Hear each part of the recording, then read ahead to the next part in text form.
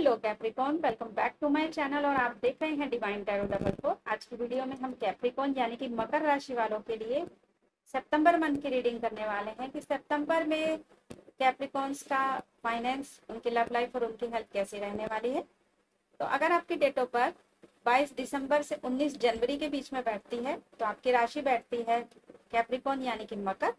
इसके अलावा अगर आप नाम राशि के हिसाब से या चंद्र राशि के हिसाब से भी कैप्रिकॉन देखते हैं और आपको सूट करती है तो आप ये वीडियो देख सकते हैं। तो फ्रेंड्स एक जनरल प्रिडिक्शन है। जितनी आपके साथ मैच करे, उतनी रखिए, बाकी जाने दीजिए। तो चलिए वीडियो स्टार्ट करते हैं।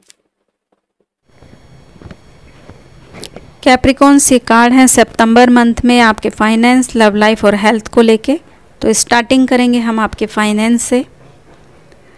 आपके कार्ड कहते हैं कि सितंबर फ़र्स्ट वीक में आप अपने काम को, अपनी जॉब अपने पैसे को लेके काफ़ी निराश और टेंशन डिप्रेशन में नज़र आ सकते हैं। आपके वर्क वर्क इन्वायरमेंट में प्रॉब्लम हो सकती है। कि इतना ख़राब हो रहा है वो कि आप वहाँ काम नहीं कर पा रहे हैं। कुछ लोग हैं जो आपके काम में रुकावट डाल सकते हैं, आपके पीठ पीछे, आपके बॉस को आपके खिलाफ कर सकते हैं, आपके प्रोजेक्ट में ज़रूरत से ज़्यादा कमियाँ निकाल सकते हैं। तो उस वजह से आप टेंशन में लग रहे हैं। या अगर आपने कोई इन्वेस्टमेंट किया था तो वो आपको उतना प्रॉफिट नहीं दे रहा है या लॉस में जा रहे हैं आप। या फिर आपने अगर किसी को पैसा दिया था तो वो आपको वापस नहीं मिल रहा है, किसी ने आपको डिच कर दिया है। तो इस तरह की कुछ फीलिंग सितंबर फ़र्स्ट वीक में आ रही है। मुझे इस मंथ में कैप्रिकॉन आप स्विंग करते हुए लग रहे हैं। क्योंकि सेकेंड वीक में फिर आप एनर्जेटिक हैं, फिर आपका फाइनेंस अच्छा हो रहा है, बेहतर हो रहा है। आप में से कुछ लोग शेयर मार्केट में भी हो सकते हैं, क्योंकि ऐसी स्विंग करने की जो कंडीशन है, वो वहीं पे आती है। नेक्स्ट नाइट ऑफ़ पेंटिकल का कार्ड है। आप एक लॉन्ग टर्म गोल के लिए गोल अचीव करने के बारे में सोच सकते हैं, कुछ चीज़ों को आप प्लान आउट कर सकते हैं। सेटिंग कर सकते हैं आप कुछ चीज़ों की। आप में से कुछ लोग अपना बिज़नेस अगर करने की सोच रहे हैं तो इस मंथ में आप तैयारी करेंगे। कुछ चीज़ों को आप सिस्टमेटिक ढंग से इस मंथ में ठीक करने के बारे में सोचेंगे। आपके थर्ड वीक में सेकंड और थर्ड वीक में आप काफ़ी एनर्जी में रहने वाले हैं कैप्रिकॉन फोर्थ वीक में फिर आपकी एनर्जी स्विंग करती हुई लग रही है कि जॉब नहीं है या जॉब से बाहर चले जाओ। या ये जो काम है, ये उतना अच्छा नहीं है, ये उतना प्रॉफिट नहीं दे रहा है, बहुत सारी चीज़ें हैं जो आपको एक उदासीन रवैया अपनाने पे मजबूर करती हैं। हालाँकि आपको प्रॉफिट मिल रहा है, आपके पास है, आ रहा है पैसा बट फिर भी आप अपने काम से फोर्थ वीक में आप थोड़े से निराश मुझे लग रहे हैं कि नहीं, ये जो काम था, जितनी आपने एक्सपेक्टेशन रखी थी, उतना आपको नहीं मिल रहा है।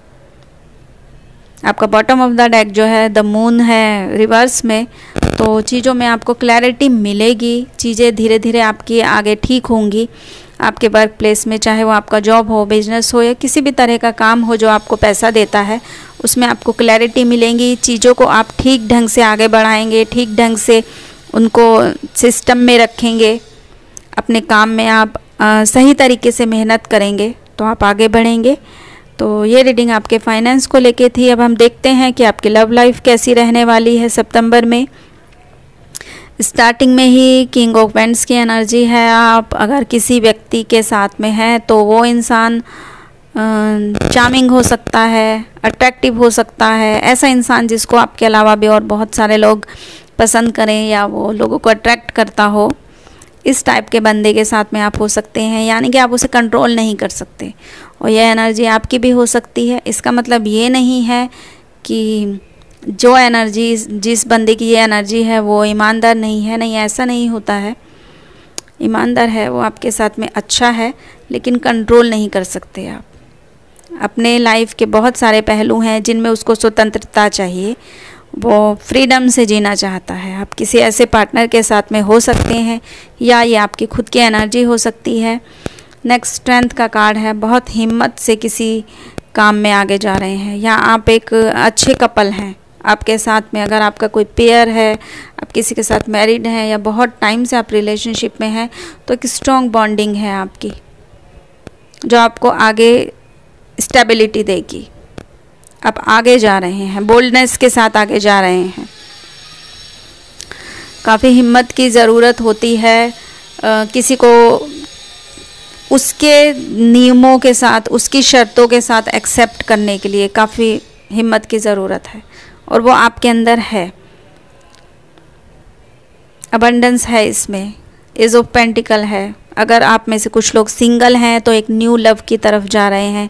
कोई अच्छा बेहतर इंसान आ रहा है लाइफ में, जो आपके जीवन को खुशियों से भर देगा। नाइन ऑफ़ कप्स है आगे।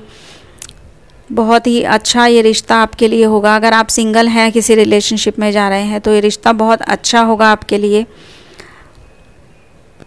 आपकी जो फैमिली लाइफ है और अदर रिलेशन है जो आपकी फैमिली के, वो भी अच्छे होंगे इस मंथ में, मुझे लग रहा है।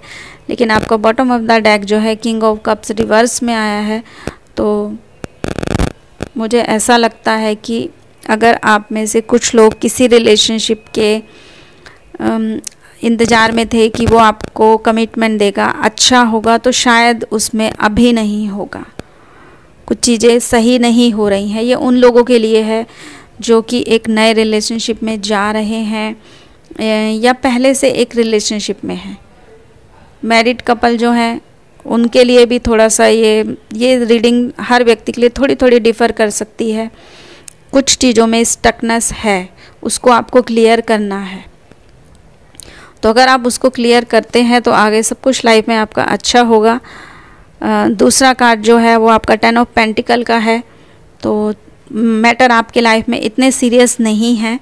अगर आप बातचीत से कुछ चीज़ों को सुलझाएँगे या थोड़ा सा वेट करेंगे तो आपको रिलेशनशिप में कमिटमेंट मिलेगा और आपका रिलेशनशिप आगे ग्रोथ करेगा।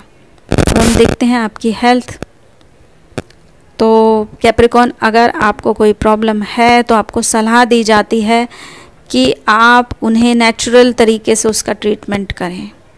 कुछ नेचुरल थेरेपीज़ कीजिए। हर चीज़ के लिए अगर कोई छोटी मोटी प्रॉब्लम है आपको तो हर चीज़ के लिए आप डॉक्टर के पास नहीं जा सकते हैं।